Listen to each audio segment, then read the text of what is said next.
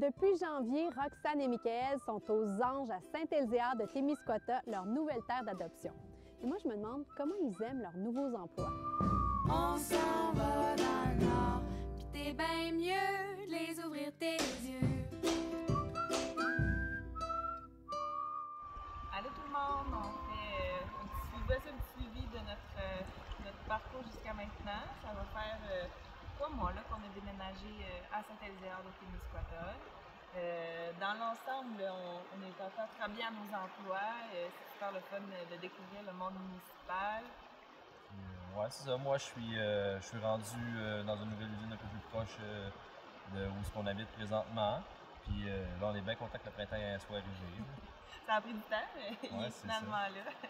Malheureusement, c'est ça. euh, la maison, euh, on a eu des, euh, des- un petit malentendu sur euh, quelque chose. Donc, euh, finalement, on peut prendre cette maison-là, mais on est en, en amour avec la région.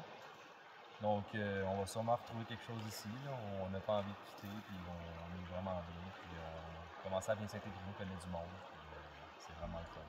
On aime la région, on aime euh, l'endroit. on- Ça, ça n'a pas changé. Notre désir de, de faire notre famille dans une euh, région un peu plus éloignée, mais euh, bien entourée de, de gens euh, sincères. Et, euh, ça, ça n'a pas changé. Nos désirs sont encore là, on cherche encore pour notre permettre, puis on perd pas espoir. Donc, on vit des expériences, puis euh, ça nous fait, ça fait grandir encore plus notre projet, puis qu'est-ce qu'on a vraiment envie d'avoir, là, puis, qu'est-ce qu'on a envie de faire.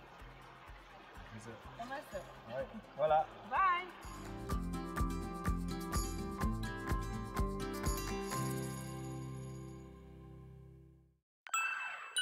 Encore plus sur nouveau.ca.